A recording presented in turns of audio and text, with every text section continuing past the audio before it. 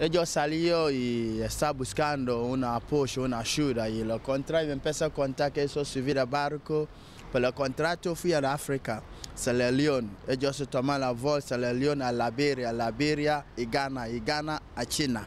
Ahí ellos se fui a tomar el barco, pero el barco no es un barco, como tres o cuatro barcos.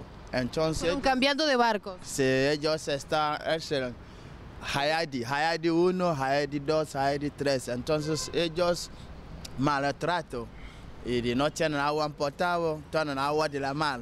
Y agua de la mar y no tienen buena comida y lo oficial le pega a ellos. Lo importante es que ellos también están en una dependencia de, de la prefectura, tienen, tienen todo, no les falta nada, están interviniendo MIDE, Ministerio de Trabajo, el sindicato como Suma y estamos en la espera. ¿La idea de los tripulantes es, es quedarse, estas personas quedarse en el Uruguay? Eh, no sabemos, digo, lo- no sabemos, no digo, nosotros lo que como, como uruguayo y como sindicato estamos defendiendo los derechos de trabajo de ellos y los derechos humanos, digo, porque ellos tuvieron, estaban en situación de esclavitud nada más.